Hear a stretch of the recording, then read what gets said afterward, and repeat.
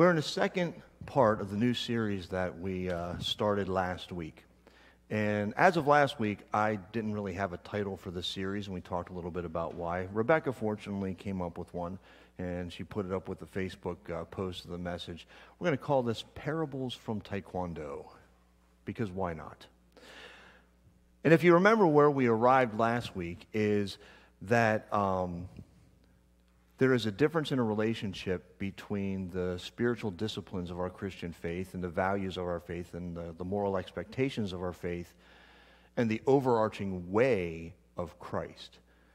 They're connected in that the disciplines and the values and the expectations are intended to draw us into the presence of Christ so that we can experience his love, his grace, and be transformed into the image of Christ, which is or the way, which is love, compassion, justice, peace, mercy. All of those overarching qualities that Jesus uh, exemplified in the world is the way that we are called to live into. And they have a relationship between another, that they kind of feed each other, that the disciplines and the, uh, the attitudes, the values, as they draw us into relationship with Christ and transform us from the inside out, more into this image of love and justice and peace and compassion of Jesus, that drives us back to desire more of those disciplines and those values and those attitudes, which points us back to Jesus, with, and it just continues to feed upon itself. And hopefully, we become, in the process, more like Christ in the way that we are, both internally and the way we act externally on the world. But we also noticed that just because somebody is doing the things, is doing the checklist, doesn't mean that they're also cultivating that way within them. That sometimes Christianity can trick us into thinking that we have a list of things that we have to check off in terms of behavior and attitude and how much we go to church and how much we pray, and that's what it means to be a good Christian, and forget that there's a whole lot more to it that we're supposed to embody. And that, in fact, if we miss the jump from one to the other, those disciplines can actually create in us a judgmental spirit or an angry spirit uh, or, or an unforgiving spirit, which causes us to not embody the way of Christ. And what this tells us is something really important. It tells us that becoming more like Christ doesn't happen by accident. It, it's not something we just fall into. It's not like all of a sudden the Holy Spirit decides and says, hey, I'm going to whammy so and so right now and make them just like Jesus. It's not the way it works. Our faith to grow and deepen takes a sense of intentionality and purpose. Because the world is trying to draw us away from all of this stuff. The temptations are all over the place. And what happens if we're not aware of those temptations? We fall into them, right? If we're not aware of what is trying to twist us away from the way of Christ, it's much easier to feed into it. And so, in order for us to cultivate the connection between what we do and who we are called to be in the image of Christ, there has to be purpose. And so, what we're going to look at today is a discipline that is essential in helping us make the connection and drawing us into this relationship with Christ. And that discipline is a discipline of meditation. Now, do any of you have a weird association with the term meditation? When you hear meditation, do any of you picture somebody in a weird orange robe sitting cross legged and floating in the air? Okay? Christianity has had a very strange relationship with this word meditation. And I'm going to give you a little bit of the history about why that is, because if, if we have any baggage associated with it, it's good to address that before we move, move on. Um, because meditation is actually a discipline that has existed in Christianity from the beginning.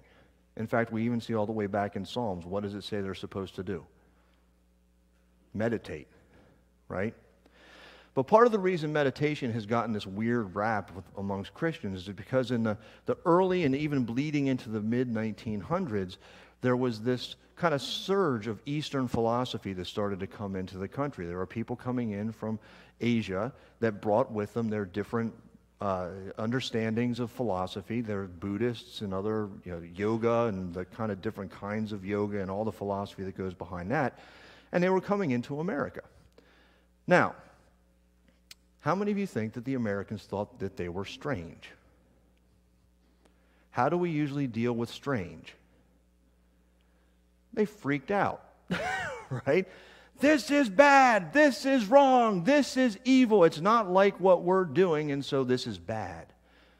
Now, most of the folks that came over, while we wouldn't agree with them, were not necessarily intending anything bad, but you did have some that came over and took their perspective and formed cults with it and wound up preying upon the people that they brought into their particular cult. And as happens, the cults got exposed and put into the news. And as soon as the cults went into the news, Christians looked at this and said, See, we told you this was evil. We told you this was bad. And anything associated with it also becomes bad, becomes demonic. And so meditation becomes this negative thing that Christians aren't supposed to do. Well, I'm going to suggest that we've never stopped doing it. We just call it different things. And we're going to look at some of those things today because they are essential. In terms of this term meditation, though, all meditation is is focusing your mind and spirit. That's it. So, is the issue meditation or is the issue what we meditate on? It's what we meditate on, it's what we focus on, mind and spirit. And if we can get an understanding of this, it can be a great help in hearing God and understanding God and in developing our faith. Um, when I went out into Colorado, we spent a good amount of time talking about meditation and understanding the nature of it. Um, and really playing with it a little bit because one of the things that there's even some Christians today that say, I don't want to mess with that martial arts stuff because that's a bunch of Eastern mojo and meditation and that's just going to make people the devil. And I'm hoping we dispelled that last week pretty handily with, uh, with the message about the way. Um, and my hope is that you'll get a little comfortable with this concept this morning because you didn't know it when you came in today, but we're going to be very interactive.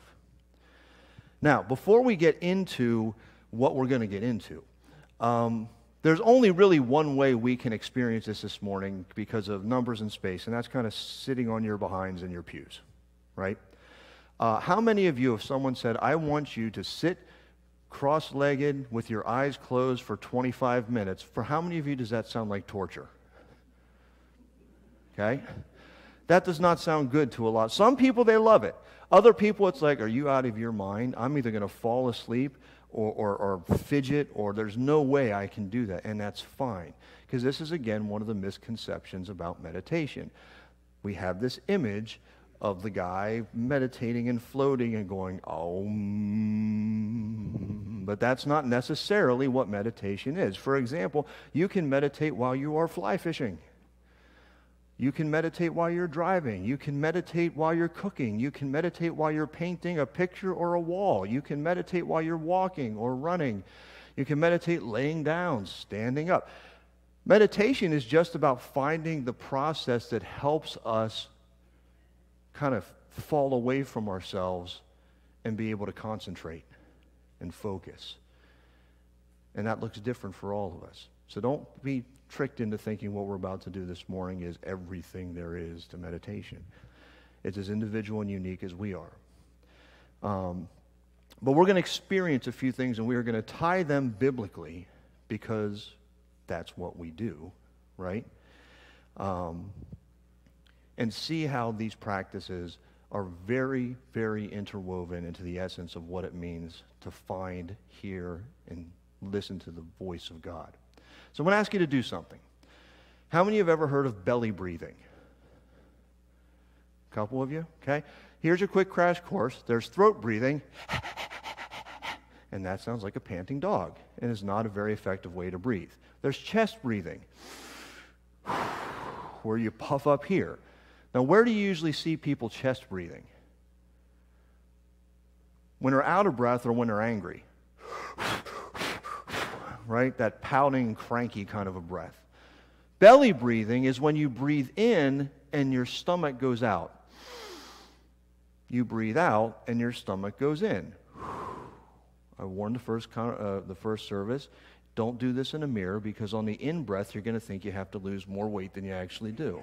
Um, they call this also breathing from the diaphragm. And what's really interesting is if you watch people sing, all right, and if you're in the choir, just be aware that you may get creeped out the next time you sing because people will be watching, is that you rarely see someone singing powerfully breathing up here. You don't see their shoulders move at all. But if you watch their bellies, their bellies are going whoop, whoop, whoop, whoop. Um, and it's kind of cool. Uh, so, what we're going to do is we're going to belly breathe. You're going to belly breathe for 60 seconds. Okay? And I want you to inhale through your nose, out through your mouth. And I want you to inhale for a four count and out for a six count.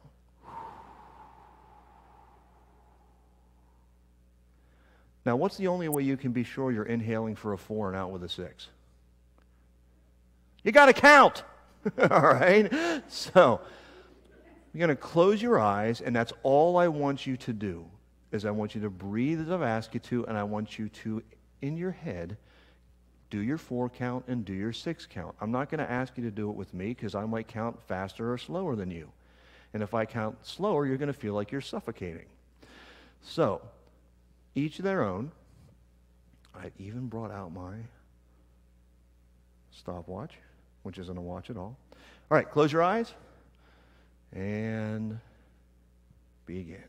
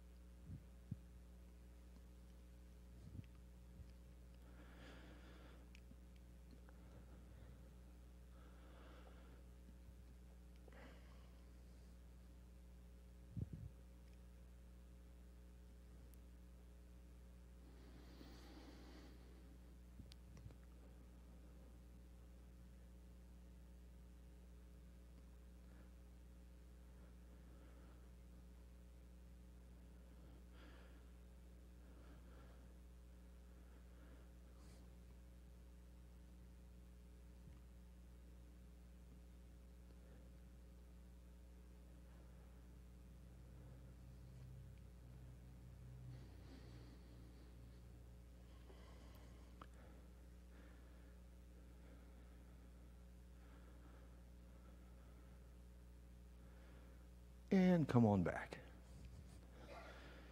Anybody almost fall asleep? This is dangerous to do in the morning. Okay? Some of you might feel a little bit more relaxed than you did 60 seconds ago. Some of you might feel a little more clear minded than you did 60 seconds ago. Most of us have actually told people to do this. We've told them to meditate when they're upset. Because what do we say? Take a deep breath, count to 10 right? Because what we're trying to do is get their brain to interrupt itself. Trying to get the brain to interrupt itself and get back on track.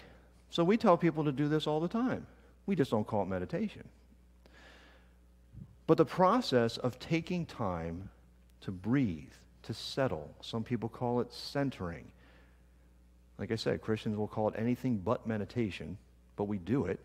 And it's necessary, and it's necessary because of what we read in Kings about Elijah. Elijah knew God was coming, right? He's in a cave.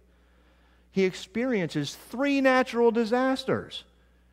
Now, how many of you ever thought about it that way? He experiences a tornado, a wildfire, and an earthquake, all one after the other.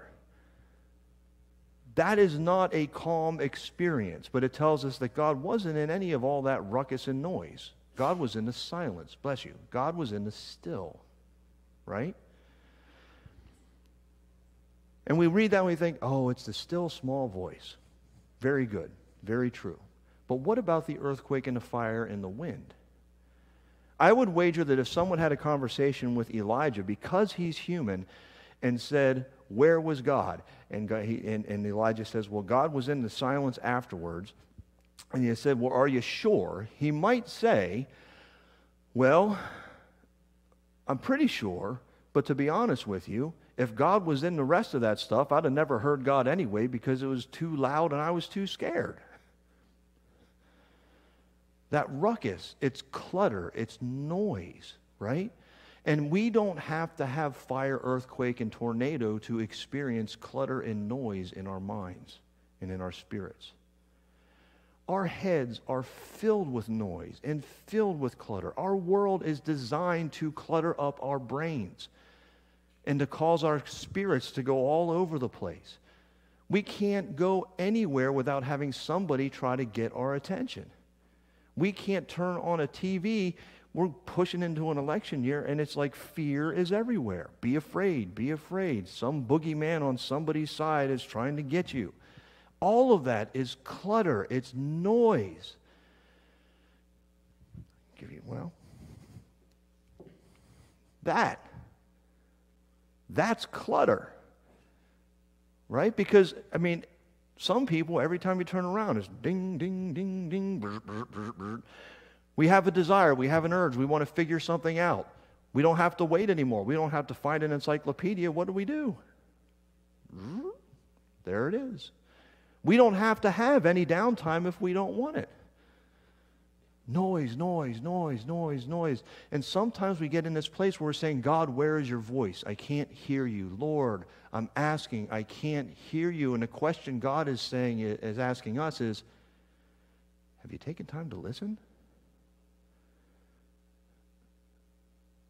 Are you quieting all the noise inside? And this noise is our agendas and our ambitions. It's not necessarily even bad stuff. Sometimes we're focused on celebrations and victories and successes. Other times it's confusion and questions and, and not knowing where to head when we're in a crossroads in life and big decisions we have to make that are weighing us down. And all of it can get in the way of hearing what God is trying to speak to us. And so, this idea of taking time to breathe, to calm, to push that stuff out, to make room to hear the voice of God, to find the silence where we can hear God speak, to be like Elijah and seek that place where we can hear the whisper. It's necessary just to hear the voice of God. Here's our next one. You're experts on belly breathing now, okay? So now what I want you to do is this. In a moment, I'm going to ask you to dial in on a moment, experience, person, incident, circumstance in your life where you have felt the presence and the glory of God beyond question. It's that mo- those moments that nobody can take away from you because you felt it yourself. And again, that's as unique an individual as every one of us. Some people, it may be in an act of giving. Some people will be when somebody did something compassionate for you. It's you being served or you doing the serving. It's compassion given. It's compassion received. It's a worship experience that spoke to you in a powerful way. It's a relationship that came through and demonstrated the goodness and the glory of God as God used them as an instrument. It can be sitting on a beach and looking out at the beautiful ocean and just having a moment where you're in, embracing the Creator and you feel the Creator embrace you. It can be anything like that. But I want you to zone in on that moment.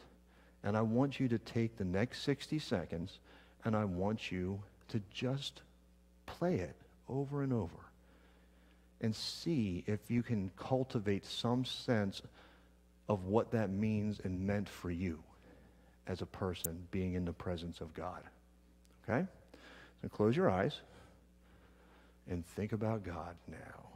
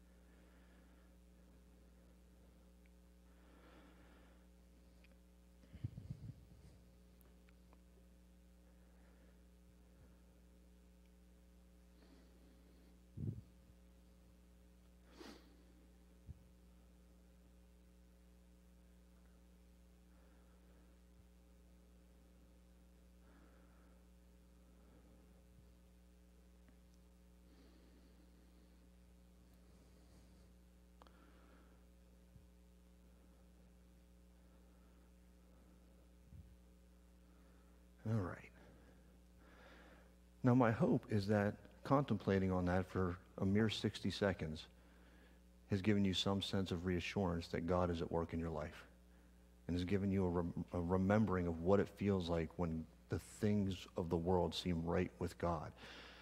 But there's more to it than that because on the surface it could seem like like what I was doing with the kids up here this morning, which is I'm going to think positively and therefore I'm going to feel positively. I will think about a warm fuzzy and therefore I will have a warm fuzzy feeling. But that's not where we're going with this. Because what does Paul say in Philippians? To think on what? Think on whatever is good, whatever is true, whatever is pure, whatever is lovely. Occupy your thoughts. Meditate on the good things, specifically the good things of God.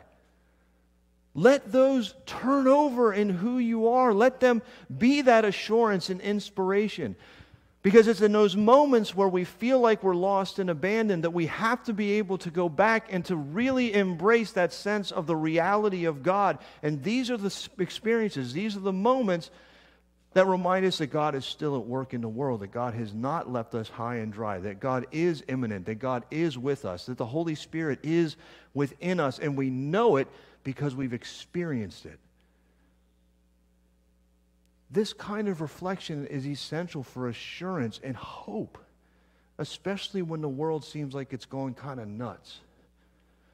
Because sometimes, I don't know about you, but I think about my values and I think about the way I see the world and how different it seems to be than so many of the other things, and I wonder if I'm the crazy one. And I have to go back in and ask, what's up here, God? And go back into those moments where I know that I know because I've experienced it in real time and in my heart. We all need those moments as anchors for our faith so that when things go haywire, we don't get tossed around like a ship without one.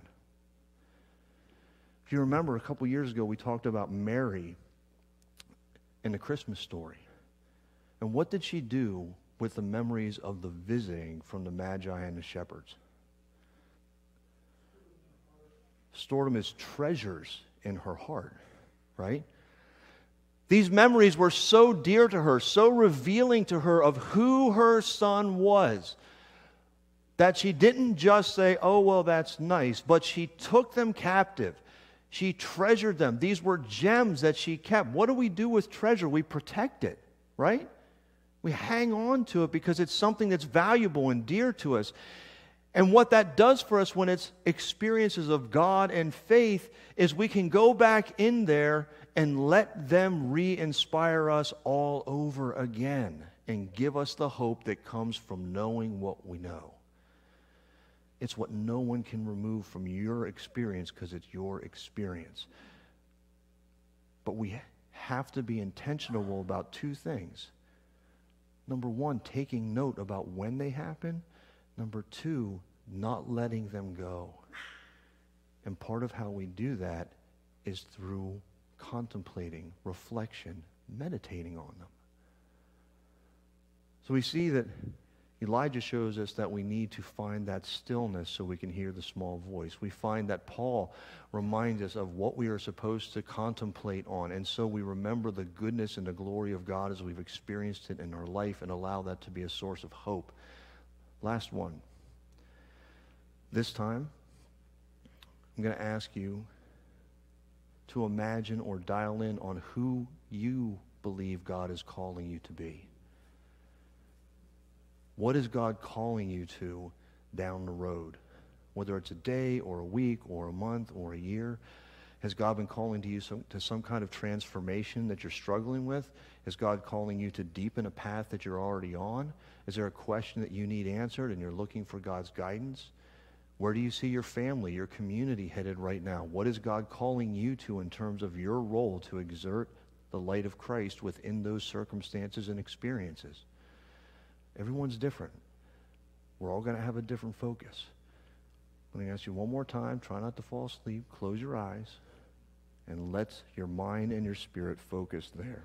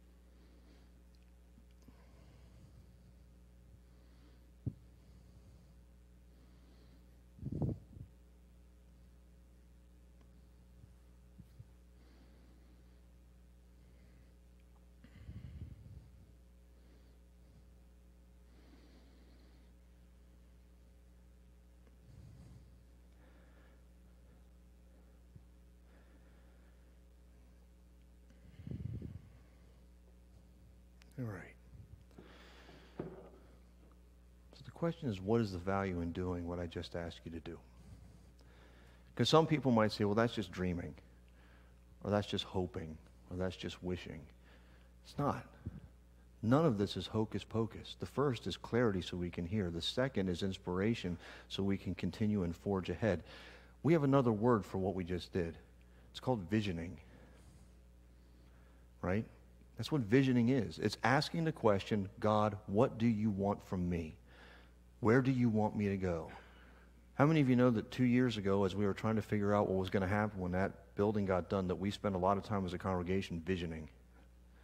Visioning is a process, it's something that happens in the presence and in concert with God, but it only happens if it's intentionally focused on God. I'm going to argue that visioning actually requires the first two. Because if we're visioning and trying to hear what God is saying to us, we can't do that until we push ourselves aside and actually are open to God's voice. And we're not going to go to God with that question unless we are assured that God is present and God is going to respond. And that comes from knowing from past experience that God is continually present and speaking. And here's a biblical sense of this visioning. I love this story because it's really strange the story of Peter on the rooftop. I mean, have you thought about that? This dude's up there praying and he's got a stomach ache because he hasn't eaten for a while. And then all of a sudden, what's he see from heaven? A giant sheet with a whole bunch of weird animals in it. Falling and poof, that's what he sees. And he hears God say, Have some dinner, Pete. And Peter says back to him, Nothing unclean has ever passed my lips before, nor shall it ever. God says, Shut up and have some ribs.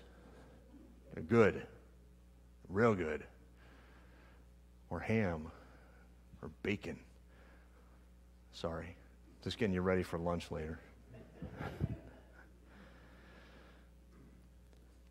But what's happening here is God is giving Peter a vision not just for his diet, but for his ministry. Because while Peter's doing his thing, there's this other dude named Paul running around to the Gentiles. Peter was one of the Jerusalem Christians. These Christians believed to a degree, to differing degrees, that in order to become a Christian, you first had to become Jewish. And that's why Peter and Paul butted heads so much. But God's saying to Peter, look, you got it wrong, pal. You're calling these Gentiles unclean, and I'm telling you that they are now part of the promise and they are offered the redemption that was purchased through my son. This vision was a true vision to tell Peter, look, we're looking down the road here, and I need you to get on board. You need to direct your path this way. And if we know anything from Peter, we know that he struggled with that a little bit. But that's a very human experience. Now, something to, to, to help you understand something, because um, how many of you have ever focused on what it says, on the, the fact that it says Peter fell into a trance?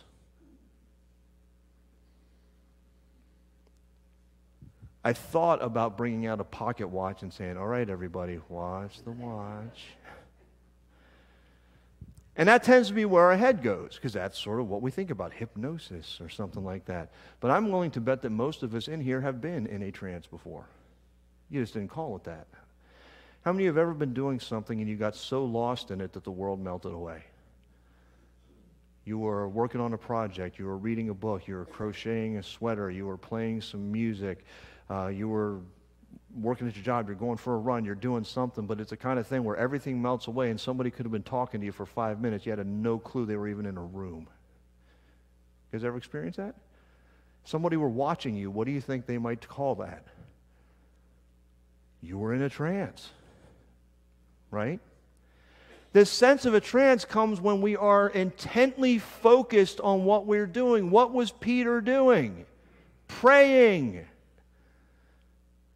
and he was so focused on it and wanting something from God, trying to figure out who God's calling him to be, what God's calling him to do as this early church is starting off. And God responds with an answer.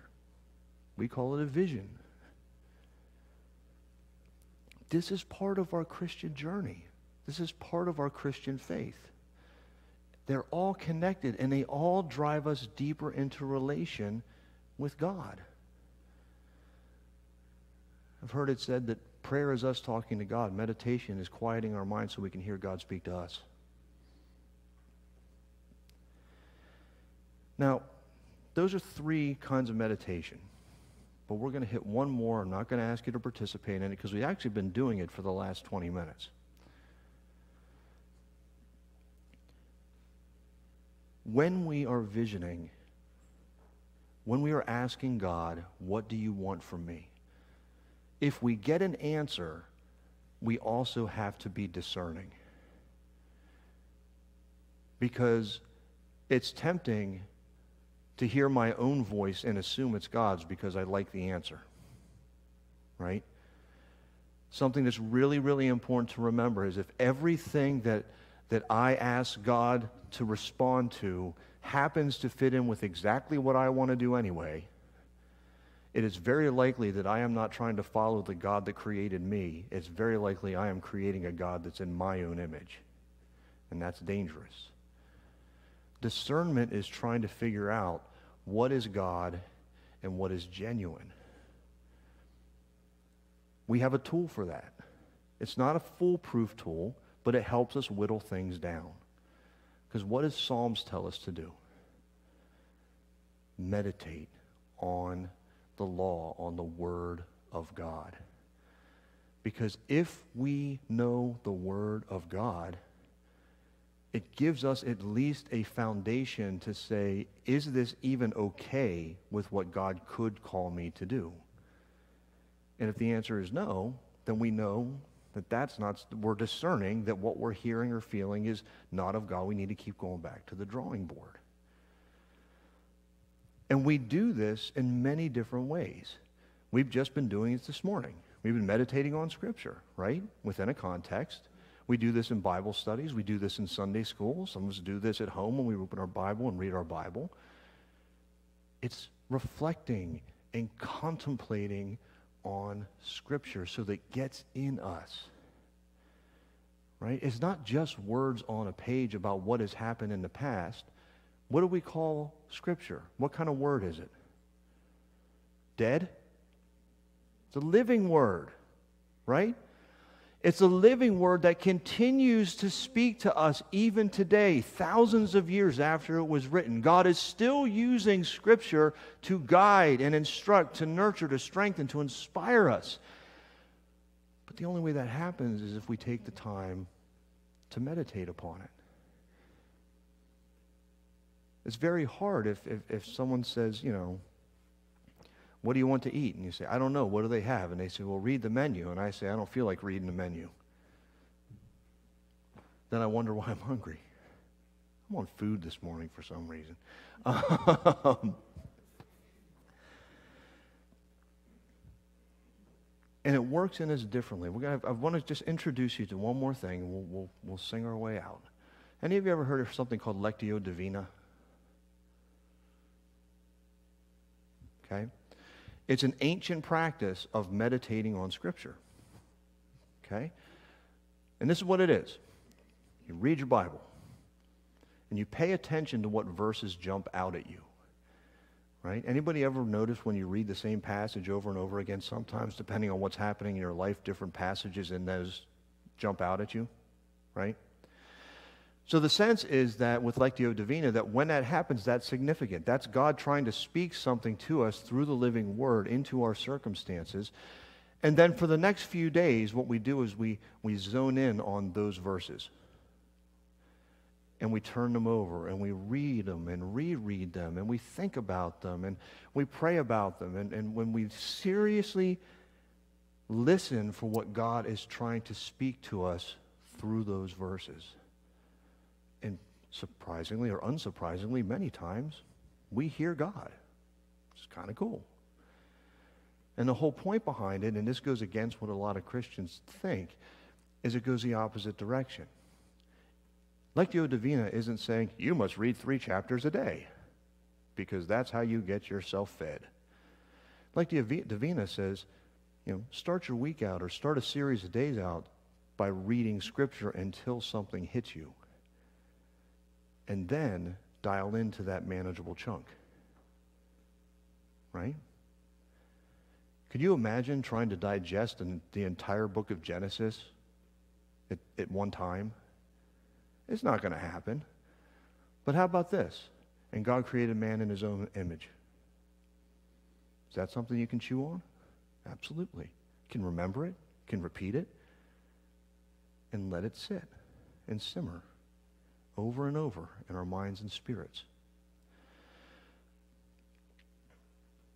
This practice of meditation is not something to be afraid of. As Christians, if we go back to the earliest vestiges of our faith, it's something to be embraced. Because as we quiet ourselves to listen for God's voice, as we meditate on what God has already done, as we ask, God, what do you have for the future? As we rely on God's word to help us discern what of that message is truly of God, it leads us more into the way. It helps us become more like Christ. It changes us, it changes what's within us. And how does the world change? How many people at a time? One. One person at a time. So start with ourselves and then let God express God's self through us and help to transform the world.